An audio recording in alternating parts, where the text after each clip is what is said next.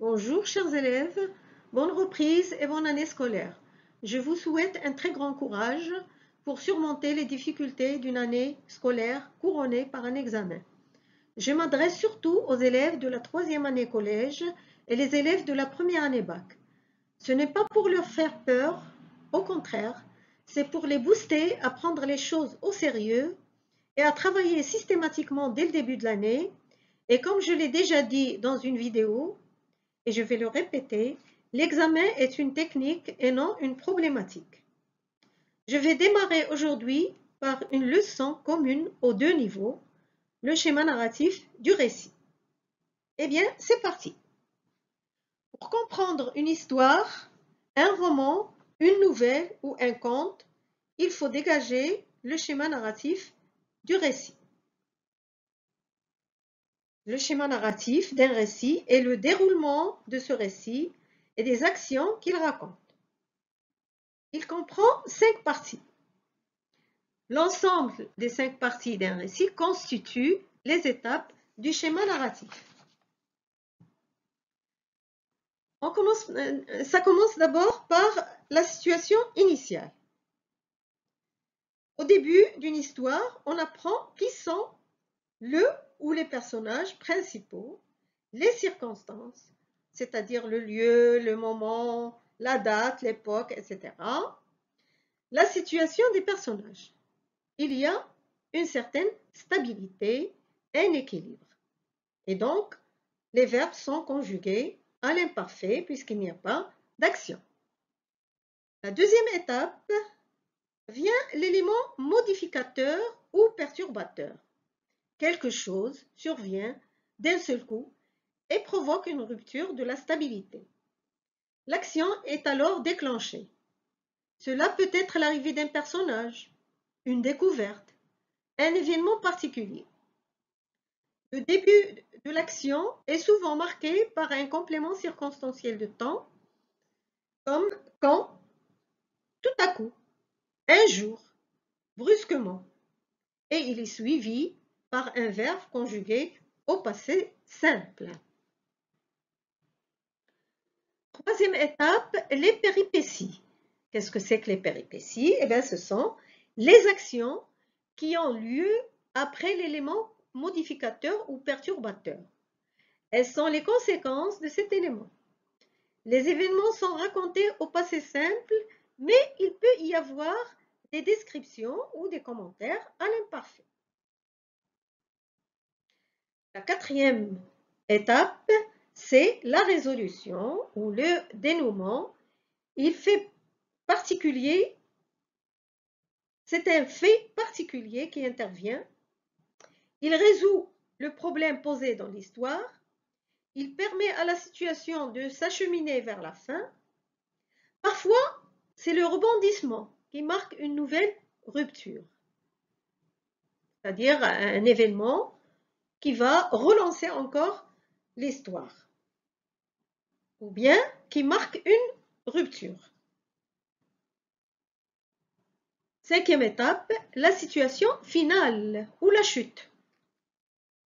L'histoire est terminée, les personnages sont heureux ou malheureux et l'auteur nous donne à voir une nouvelle situation stable.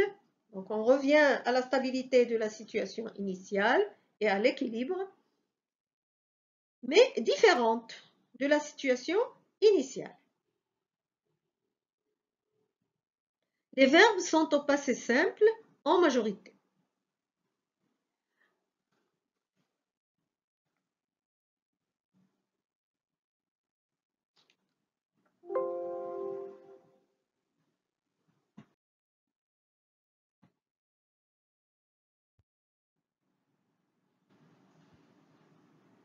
Alors maintenant, je vous donne un exercice à trous où vous allez utiliser tout le vocabulaire qu'on a vu dans l'explication. Question, placez les mots suivants à l'endroit qui convient. Alors voici les mots, perturbateur, modificateur, stable, événement, 5, lieu, personnage, action, indicatif, simple, Récit, action, finale, étape, situation, schéma, imparfait, stable encore, indicatif, résolution, situation, initial, narratif, élément, moment, temps ou temps, passé, péripétie, dénouement, l'ensemble. Première phrase. Un texte qui raconte une histoire s'appelle... Alors, euh, certainement, vous avez deviné la réponse. Un récit. Deuxième phrase, un récit a toujours la même structure, c'est-à-dire le même plan, qui comporte parties. Cinq parties. Troisième phrase, l'ensemble de ces, je crois que vous avez deviné la réponse, l'ensemble de ces étapes s'appelle le schéma narratif. Quatrième phrase, la situation initiale donne des informations sur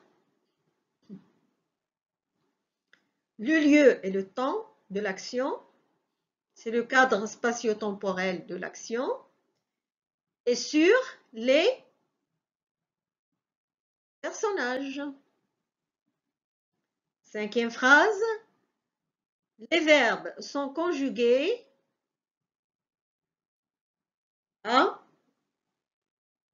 l'imparfait de l'indicatif car il n'y a pas d'action. La situation est,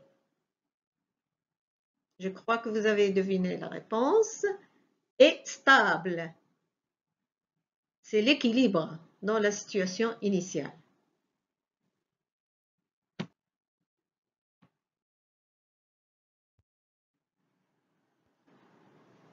Sixième phrase.